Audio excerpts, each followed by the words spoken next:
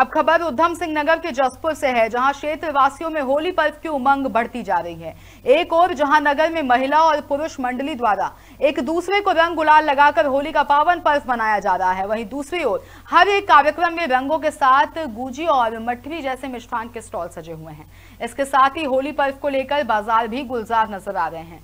बता दें कि चाहे गाँव हो या नगर, सब दुकानों में रखी रंग बिरंगी पिचकारी, हर्बल गुलाल तरह तरह के मुखौटे आदि वस्तुएँ आकर्षण का केंद्र बन रही हैं, जिससे बाजारों में अलग ही रौनक बनी हुई है। जसपुर से प्रदीप श्रीवास्तव की रिपोर्ट।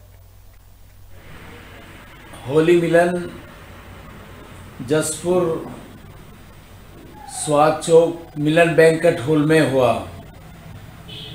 और हमने सभी समाज के सहयोग से और सब समाज के हिंदू, मुस्लिम, सिख, ईसाई सब लोग आए।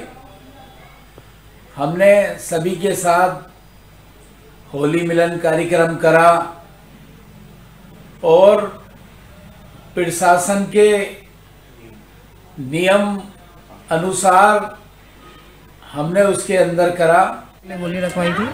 होली मिलन का प्रोग्राम किया था और इसमें रंगों की और फूलों की होली कराई गई और इसमें काफ़ी महिलाओं ने डांस भी किया होली गाई और पहाड़ी नृत्य की डांस भी हुआ होली भी हुई और इनका कुछ जलपान की व्यवस्था भी होली का प्रोग्राम एक रखा गया था। ये सभी महिलाओं के द्वारा एक प्रोग्राम रखा गया यहाँ पे होली का। और इसका जो मेन उद्देश्य था वो जो हमारी नई जनरेशन है, उन बच्चों को अपनी संस्कृति से जोड़ने का था।